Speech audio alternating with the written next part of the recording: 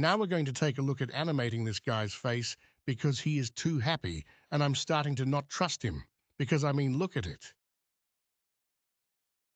All right, let's animated face to do that first.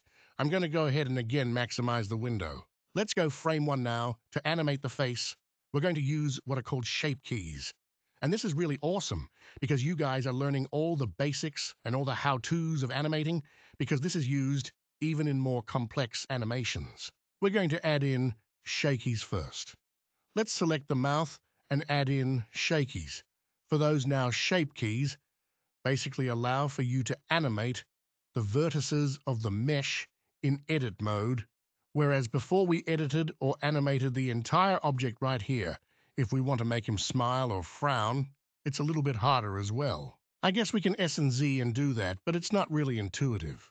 And also for the eyes we want to animate the eyes as well.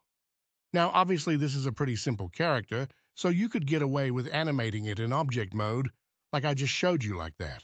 However, we're going to use shape keys because it's much more intuitive, and that's what you use in more advanced animations over here in the vertex or object data. We're going to go to shape keys with the mouse, with the mouth selected, not the mouse, the mouth selected, hit the plus icon to add in a shape key, and it will add in a basis shape key. Now the basic shape basically tells Blender that this is the original shape and deformation of that object. This is how it is in the basis shape we're going to hit plus sign and add in a new shape key. And now the shape key is right here. We're going to rename this by double clicking here. We're going to name it smile or frown. There we go. And now to be able to make this animated, well, we're just going to increase the value to 1 and then hit Tab to go into edit mode. Now, any changes that we make in edit mode, you'll see that after when we change the value, it will actually animate it. I'm going to hit 1 to go into front of you. And what I'm going to do if I select these right here by left click and drag, and you could see only select the front vertices. And we have some vertices in the back as well. Now, by the way, if you ever get to the point where it's like not zooming in, or it's a little bit hard to move around, the selected object just hit delete on your numpad and it will zoom in and reposition that selection as the pivot point. So it's just like the back faces. I'm going to hit one to go in front of you, Z going to wireframe, and now BOQ select, and then wireframe will select the, the vertices in the back too. All right, now all I can do is hit GZ and we could bring these down to create more of a frown. However, before doing that, we're going to turn on proportional editing up here. We can enable proportional editing and we have the kind of fall off right here. We have smooth and a bunch of other ones, but we're going to select smooth. The shortcut key for this is the O key, which will turn it on and off. So with this on, if we hit G and then Z, you can see what the mouse will. Now we have a sphere of influence.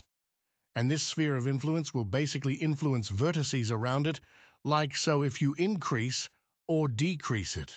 So I'm going to bring this down, increase the sphere of influence, and then RR to rotate, and just hit GZ and bring it down again, and make him have a sad face that I'm going to select these vertices here and hit R to rotate. Maybe decrease the sphere of influence. Hit GZ and bring these down as well. And maybe adjust these just a little bit by rotating them. Now let's go into Object Mode Z. By the way, the short cookie Z, you could go into wireframe solid or textured mode. And there we go.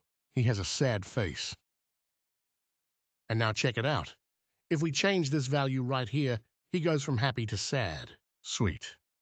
So with this value here, we can now animate his mouth.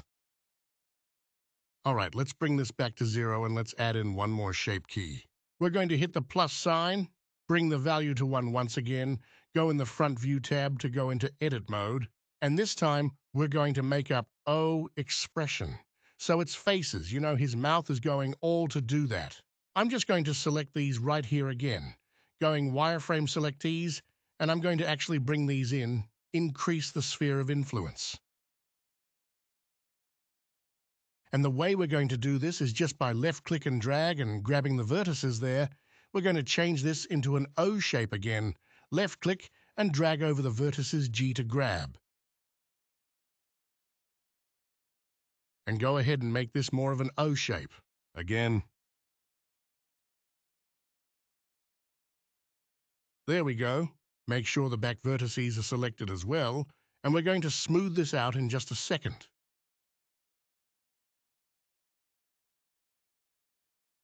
All right, something like that for now. Now, what we could do is select everything right. Click and go to Smooth Vertices, and this will kind of smooth out your vertices a little bit. And then I'm just going to select this 1G and with a sphere of influence. Bring it up like that. And adjust this one as well like that. And then again, just move it so that's more spherical looking. And that should be good, of course. You could tweak it more if you want, but I think that is good for our character. See, go back into solid mode, and there we go. He has a no-tip sheet mouth. And again, if we play this, he goes from happy to all like that. And also we have the sad face right there. And we could go from sad face to mustache, and there we have it. We have Mustache Cube Man. Now, obviously right now the two shape keys are not working together, but again, this is our first animation, and we will see in future videos how to make more intuitive shape keys.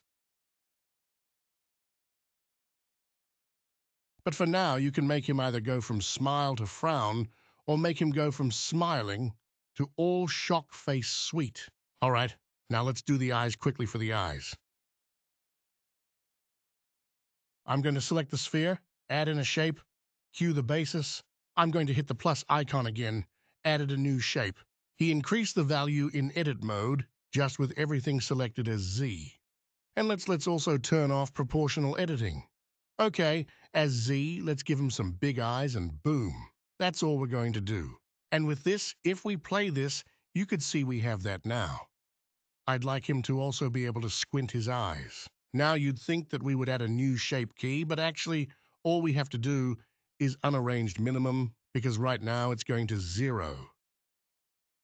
If we put the range minimum to negative one, we can now bring it on the opposite axis and make him kind of squint like that.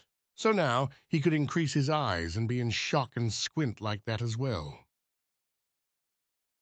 And let's actually bring it to a negative point. Seven negative points, seven. Negative point, seven, eight, I guess, so that we can't squash his all the way. The boom, boom, boom, boom, and a value of zero, of course, is how the eyes are. Normally, I'm going to go ahead. It's like this. I delete it like this one shifty X and copy it over.